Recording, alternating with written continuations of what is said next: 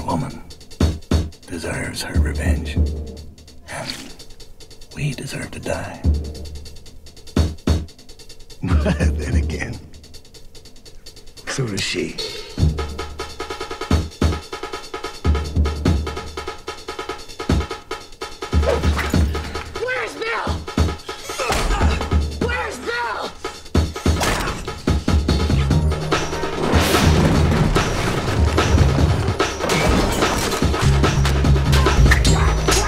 Silly Caucasian girl likes to play with samurai swords.